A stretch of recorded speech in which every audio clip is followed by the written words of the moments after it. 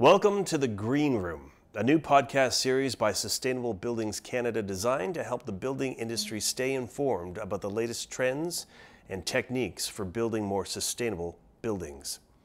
I'm Jeff Fredericks, and I'm joined by Bettina Hoar, an indoor environmental quality expert and director of the Better Buildings Bootcamp, Cara Sloat, a senior mechanical engineer and sustainable buildings design expert, and J. Leko, master's student in the building science program at Toronto Metropolitan University and a participant in last year's Better Buildings Bootcamp. Welcome, guys. Happy that you're here to join me. Thanks, Jeff. Thanks so much. Okay, Bettina, let's start with you. Why don't you start by telling us who you are and what you do? Uh, my name is Bettina Hoar. I'm a sustainable building advisor. Uh, I run a company called Sage Living, but I do a lot of work for Sustainable Buildings Canada. I'm their subject matter expert for indoor environmental quality. And but most importantly, I uh, developed and run the Better Buildings Bootcamp. Great. Yeah. Okay. Cara, same question. Uh, I'm Cara Sloat. Uh, as you said, I'm a mechanical engineer with Hammerschlag and Joffe. So we're a mechanical and electrical design firm in the city, and we work on commercial and office buildings and multi-unit residential buildings and, uh, and essentially anything in the ICI industry. Uh, so I design HVAC and plumbing for those buildings. Terrific. John. So I'm J. Leko, um, non-traditional master's student in building science at Toronto Metropolitan University, formerly Ryerson. Um, and I was a participant at last year's boot camp. Great. Great. So we're going to come back to that uh, experience that you had, Jay. And why don't we um, start by hearing a little bit more about how you guys got involved in Sustainable Buildings Canada? Um, and also, I'd like to hear what you think the role of the organization is. So we'll start with you, Bettina. Sure. Uh, I joined Sustainable Buildings Canada as a subject matter expert for indoor environmental quality when they uh, were doing the Savings by Design program.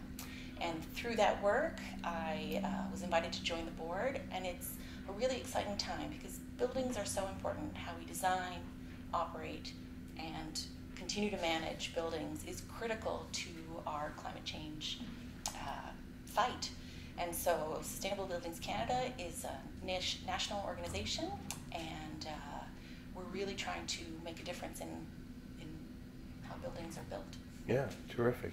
Terrific. And Cara, same question for you. How, how did you get involved in the organization? And, and in your mind, what, what's the purpose of, of, of, of SBC?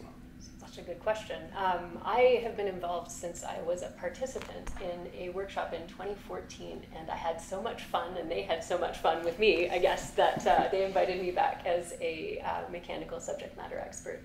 So I've done um, over 100 workshops with them with um, proponents who bring us buildings and we work together with all of their experts in the room to make those buildings better.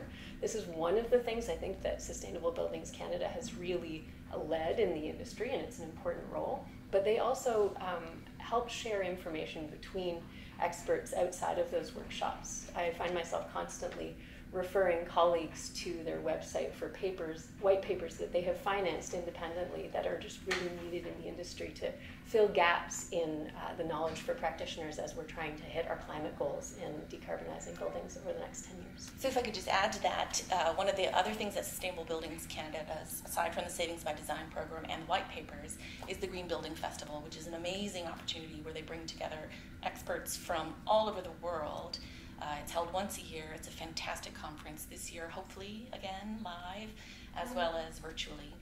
And uh, yeah, the, the idea is to, to bring together knowledge so that because the more we work together, they're huge proponents of integrated design process, which really proselytizes that the more we bring people together throughout the process of building building, that's how we get great buildings. Awesome. And Jay, what about you? How did you get involved in Sustainable Buildings Canada? And I know you participated in last year's uh, Better Buildings Bootcamp, but why don't you tell us a little bit about your involvement? So, yeah, last year I attended as a participant online. Um, as it was approaching again this year, I think I had written Bettina back in about May and suggested some additions to the program. Um, and then, you know, that sort of stepped me forward into the noose to, to, to, be a bit more of a player in it. Oh, awesome. Awesome. Well, let's talk about this year's uh, Better Buildings Bootcamp because, of course, it's fast approaching, and I guess we're just uh, just under a month away. Why don't um, I ask you, Bettina, uh, how how did it start, and uh, and then we're going to talk a little bit about this year's program. So, yeah, first on the origins of the of the So the origins are really simple. What happened was we would do these amazing workshops, professional workshops, where we had an actual building and experts from Sustainable Buildings Canada. We would all get together.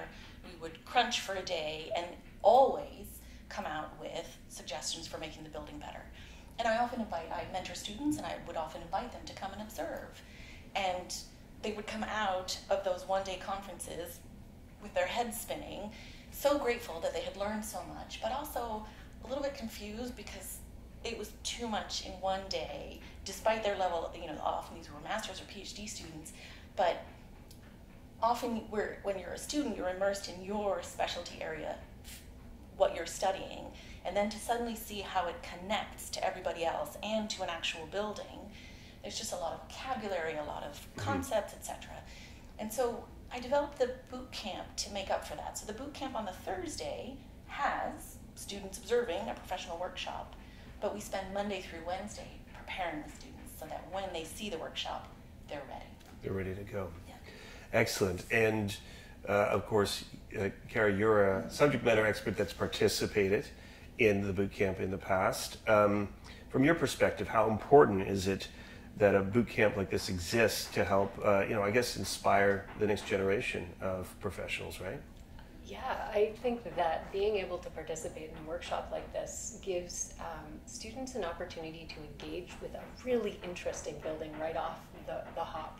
I once interviewed an architect who told me that for the first two years after graduating, she has people design washrooms. And once you get really good at doing washrooms, you're allowed to do something else.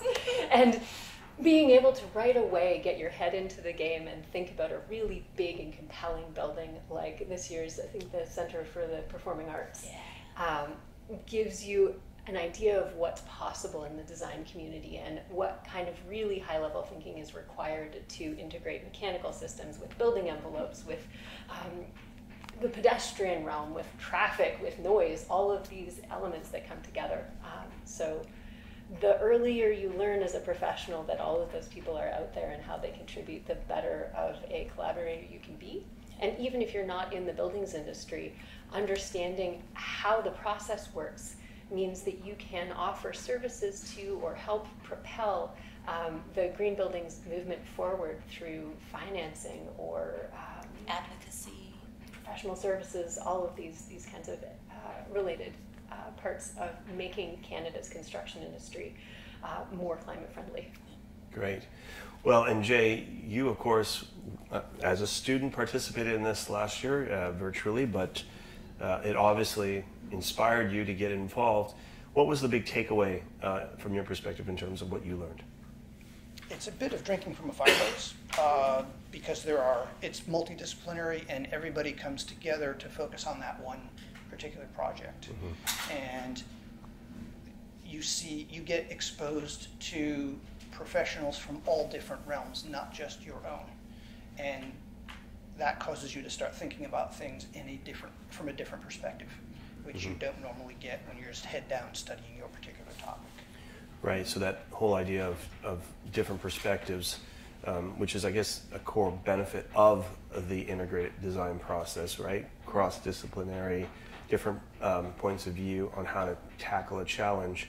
Um, for you, Jay, uh, that was something that was was uh, inspiring, but also, I guess, got you thinking about all the possibilities uh, in the profession. Um, what is it that you uh, what are, what's one of the biggest uh, takeaways in terms of the advantages of that type of approach, in your opinion? It's it is definitely multifaceted. Um, so if you're concerned about, you know, as a student going in, and this is the same thing that I'm doing every day, all day long, and is there any going to be anything different ever, or is this where I'm stuck, sort of to my desk? Exactly. Um, it sort of opens your eyes to all these different possibilities, and um, yeah, I mean, just just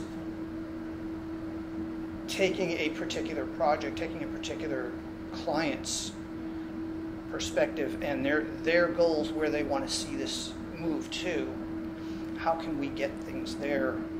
What are the different options to, by which to do that? And then, you know, uh, you've got this whole other team of folks that are coming in, and they've all got their own priorities that they need to to meet as well for this same client. And how do you do this without stepping on each other or creatively, you know, coming together and making things, you know, taking it up a level from where where you might individually be to where the project can go when everybody comes together and, and works as a group. Great. And we're going to talk about this year's program in a minute, but last year, um, the focus was on a U of T building, correct? Uh, Bettina, you want to tell us a little bit about that project uh, and maybe even some of the feedback you heard from other students, but also the participants in terms of what the benefits were? One of the things we're really pleased about is the feedback that we get from the proponents of the actual buildings. So last year we worked with David Sasaki, who's the managing director of the, of the properties at the University of Toronto, and we worked specifically uh, on a data science building, and they actually used the student input from the team presentations. It informed their decisions on that project. So not only is it an opportunity for students to participate, but also for the team, the, the building proponent team, to get points of view that they may not have considered and uh, to take the feedback back to the professional team and, and use it. Great. Great. And um, I guess it's, it's probably a good opportunity then to talk about this year's program. Of course, we I think Gary, you already mentioned it's the St. Lawrence uh, Center of the Performing Arts. Is that correct? And um, this is a rather um, iconic building, I suppose, in the sense that it's been around for a while. It's a core piece of the community. Um, and why don't you tell us a little bit about the background on how this became uh, the subject for this year's boot camp? Sure. Every year we try to pick a building that uh, has some significance. Uh, this year is a little bit different in that uh, generally we take a building and we run it through the Savings by Design program, but this building's in the early stages, so it couldn't, which actually opened the door for us to do much more. So the St. Lawrence Center is a civic building. It's a civic. It's owned by the City of Toronto. Uh, the dream is to make it bigger and better. And because it's a city building, of course, it's going to have to meet the new, more stringent energy efficiency goals and what have you. But the team at TO Live, who's the city agency that manages it, they really want to go beyond. They want this building to be net positive in both environmental terms, but also in human terms. So it's a, it's a huge pro- project, and it's a huge opportunity for us to reimagine how the St. Lawrence Center for the Arts is not only a civic asset, but really a piece of the city that brings us all together and allows us to, to participate. Great. And Jay, I'm going to ask you to sort of follow up on that notion. As a student, um, I know we're not looking at just having folks who focus in on buildings per se. We're looking to broaden the uh, the appeal and, and, the reach. So, Jay, from your perspective, how important is it um, for the boot camp this year to, to look at other faculties, say the faculty of, of humanities, or, or to get more art students involved in participating? From from the humanities perspective, uh, they bring to the table, from from what I understand of it, uh, they would bring to the table sort of the placemaking. Where does this building fit within the civic stage uh, and the civic center? So you've got community building. From a performing arts perspective, these are the folks that are on stage and who better to relate the experience than those folks because that's what they do. You know, rather than why did this engineer put a column right here because these seats can't see. These are, these are the folks that can go, okay, here's what we need, and here's what's what's going to best suit our uh, practice. Um, where something like an architect and an engineer, they may be tangentially familiar with that, and some folks may actually have a great deal of experience, but that can't be said for the, the discipline as a whole. Right. So by bringing other people in, you're, you're making the project that much better. That's really uh, important, particularly when you think about the role it plays in the community. A, a building like this, um, it, as an art center, uh, a place to celebrate a performance um, by inviting art students or the performers, as you suggested, uh, Jay, to contribute to uh, share their perspective of what ought to be considered in this building. Um, means means a lot, uh, I'm sure. And then of course there's the broader community and how they're going to interact with the building from a street level, right? Um, uh, is there anything to add just in terms of how important that consideration is for the boot camp this year that we're starting to really ask students to think more broadly than simply reducing the carbon footprint of the building, but more in terms of the impact that building will have on the community? The, the building should be a welcome space for literally anyone that comes to the city of Toronto, whether you live here or are visiting. We want the St. Lawrence Center for the Arts to be a welcoming space for all people. So we understand that the arts sometimes can be seen as inaccessible in many, many senses of the word.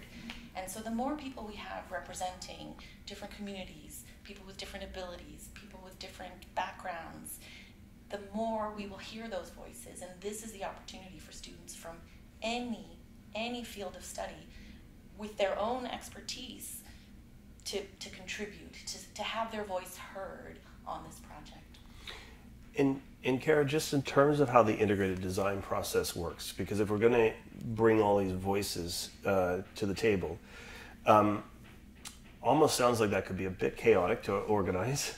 And I, I want to get your perspective as a subject matter expert on how the integrated design process actually works so that we don't have, you know, that we have ideas being shared, but we're not like bumping into each other as we're trying to come to some sort of uh, end goal. A great question. So, um, Sustainable Buildings Canada has gotten really good at facilitation over the years. So, half of the struggle is making sure you have a framework to capture the ideas and then to create different buckets for those ideas. So, when we engage with mechanical systems, we dedicate some time and we have all of the ideas that we've shared about what we want out of the building, and then we focus in on the specifics of how do we heat, how do we cool, how do we ventilate, are there performance requirements beyond that, how do we make those things carbon neutral. And we use the perspectives that we've shared when we're generating ideas to inform those things, and we have everyone at the table to tell me when I'm kind of going down the wrong path. Um, so the stormwater experts and myself will talk about how we're using roof space, for example. Um, but we don't lose track of the ideas. Um, and as these kinds of projects proceed past this um, one week boot camp, the formalization of my plan out of that as a subject matter expert gets written down, and we essentially write down the output. Um, we call those, uh, I'm going to pause here.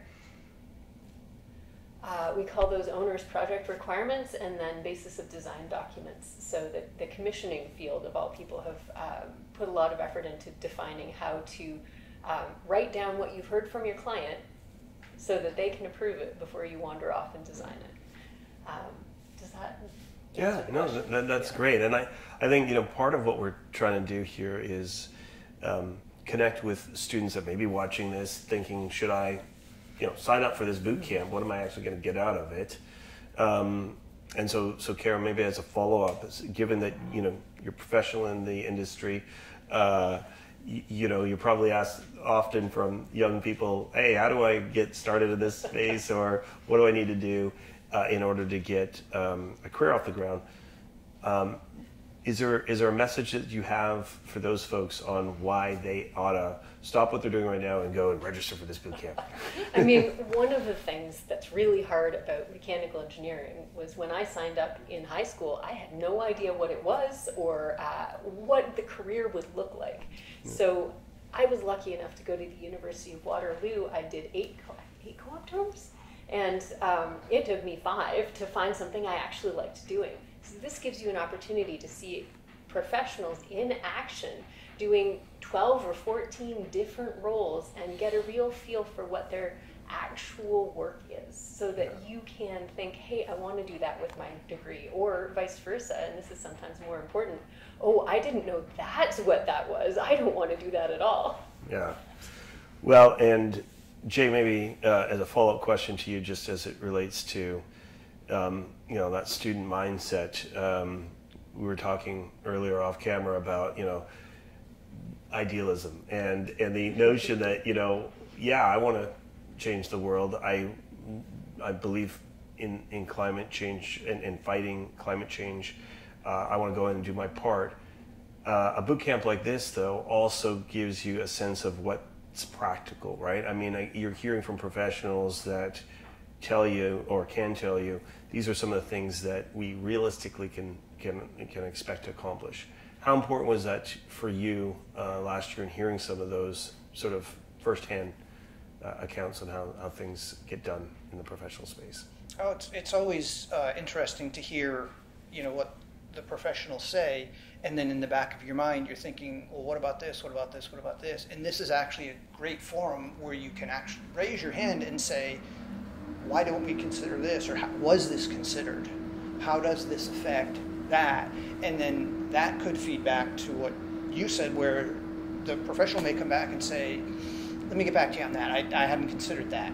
And, you know, you proceed from there. So there, there are different, again, perspectives that you're, you're bringing in. And especially in the education, sometimes I think the way many new ideas are brought into these older professions is through the students because the students, the, the system, the education system is advancing and they teach each group of new students sort of uh, current thinking up to the up to the minute. This is this is the, the direction things are headed in because we're doing we're doing you know hands-on research and in various fields and so forth, and then that loops back into the professional practice where an intern comes in and says, okay, why are we doing this? We just read a paper that said don't do this, and now all of a sudden you're, you're, that's starting to have a ripple effect up the chain to where now the, the principals are, are, getting involved and saying, okay, maybe we need to, to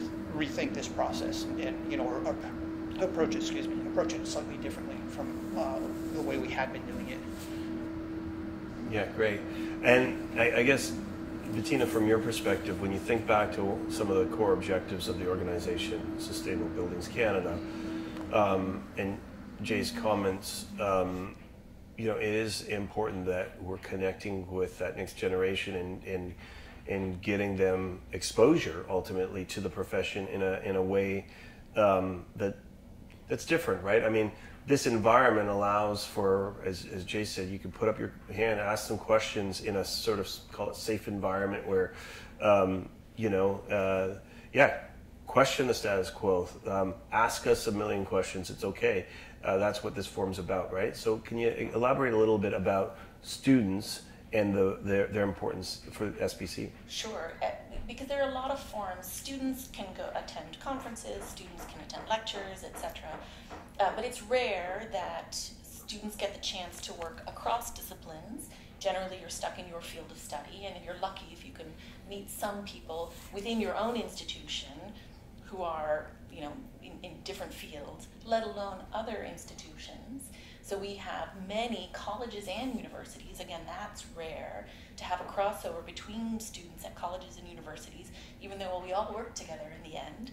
And so the boot camp really does provide a, an incredibly unique opportunity that's both interdisciplinary, cross disciplines, and cross institutional. Lots of colleges and universities uh, across Canada. For, uh, this year, fundamentally in, in Ontario, but we're hoping to expand the program.